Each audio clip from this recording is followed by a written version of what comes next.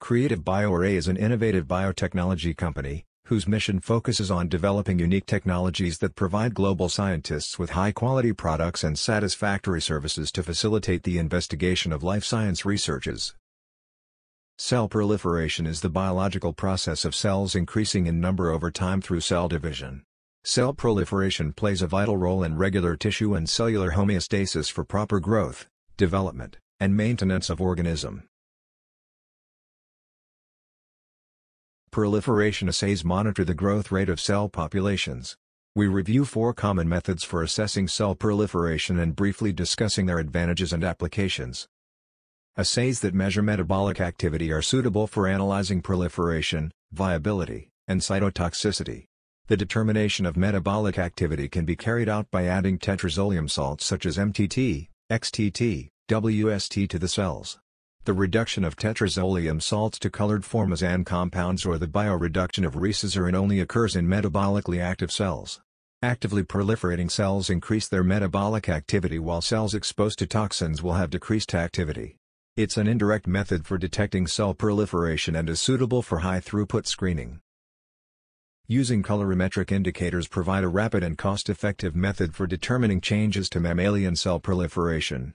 Among the various colorimetric viability assays, the MTT assay is a well-established and popular assay. Below is an example. HCT116 cell, a human colorectal carcinoma cell line, were treated with compound O and staurosporine for 72 hours and the cell proliferation was measured by MTT assay.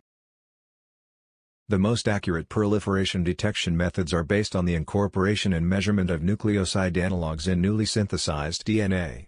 5-bromo-2-deoxyuridine, BRDU, and 5-ethynyl-2-deoxyuridine, EDU, are commonly used analogues. Based on this principle, several kinds of technique are developed for the quantification of cell proliferation through the measurement of newly synthesized DNA including BRDU, EDU and EDU methods. The labeled proliferating cells can be detected by several methods including immunohistochemistry, IHC, immunocytochemistry, ICC, flow cytometry and so on. It is a reliable and reproducible method for the study of cell proliferation. On the left, three T3 cells labeled by EDU were fixed and reacted successively with fluor 594 azide. On the right, three T3 cells labeled by BRDU, followed by using an anti-BRDU monoclonal antibody and a fluor 488 conjugated secondary antibody. Early methods focused on hydrolyzable phosphorus. The use of firefly bioluminescence to measure ATP was first proposed by McElroy when he discovered that ATP was essential for light production. The use of firefly luciferase as a means to measure ATP levels has been further advanced through the use of recombinant proteins.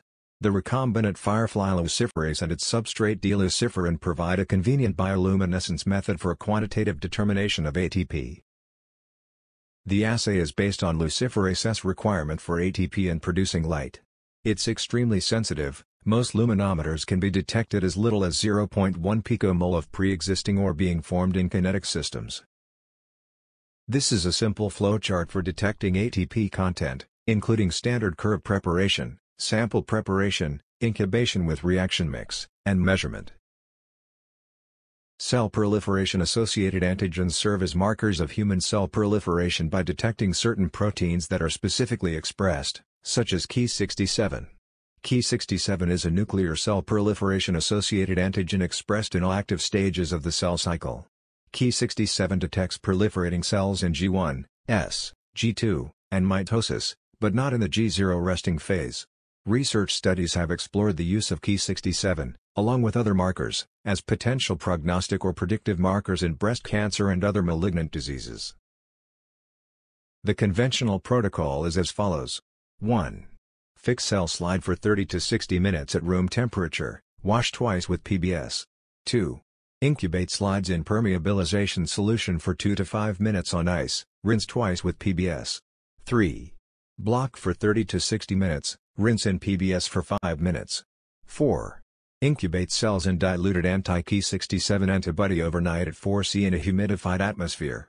5. Add secondary antibody HRP conjugated egg to slide and incubate for 60 minutes at room temperature. 6. Add DAB mixture to each slide and incubate for 5-10 minutes at room temperature. Choosing a cell proliferation assay from many different options available can be a challenging task. Picking the best assay format to suit particular needs requires an understanding of what each assay is measuring as an endpoint, of how the measurement correlates with cell proliferation, and of what the limitations of the assay chemistries are. Here we provide recommendations for characterizing a model assay system and some of the factors to consider when choosing cell-based assays for manual or automated systems. If you have any questions, please contact us.